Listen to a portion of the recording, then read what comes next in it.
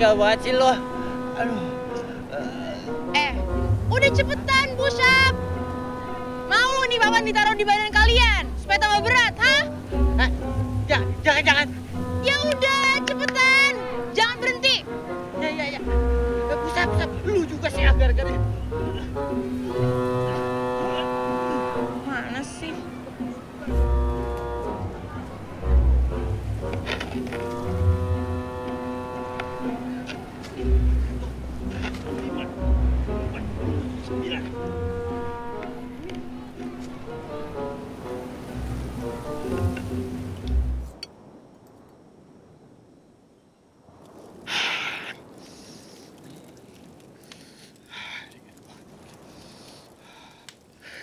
AC kegedean kali ini.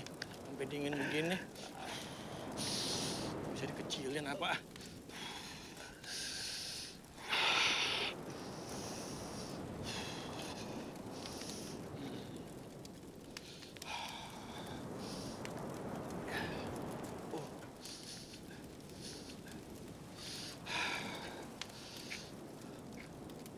Wah, yoi, mamen. Tahu aja. I am very, very cool banget ini.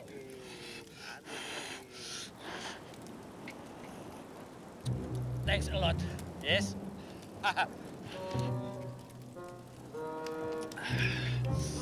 Aduh, aduh tumpah.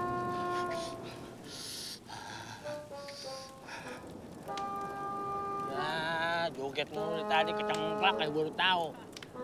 Asik loh, Asik. Dia nggak tahu apa, dukun urut susah. Lah? Set. Pada ke mana ini? Eh, masuk kagak bilang-bilang. Kita cuma berdua doang. Lu ke mana lo? Mau belanja? Ya udah tahu mau tidur sleeping, sleeping, bobo manis. Nah, ada berdua doang sambet kita. Ngikut aja lu.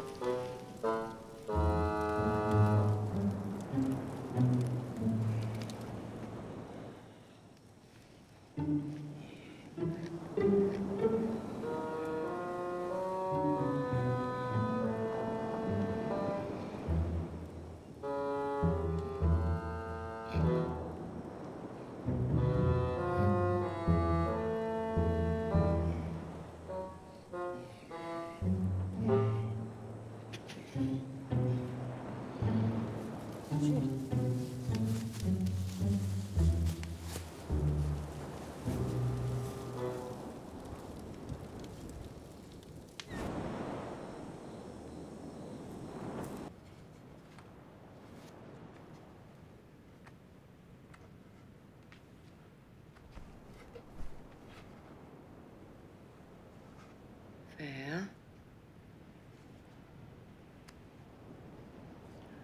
Kamu mau main lagi?